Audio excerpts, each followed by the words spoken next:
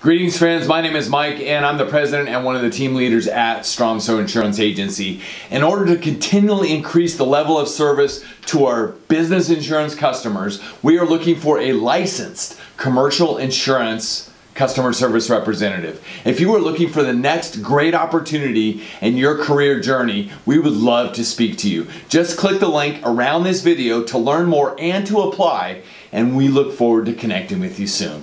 And until then, please stay safe, stay well, and stay healthy.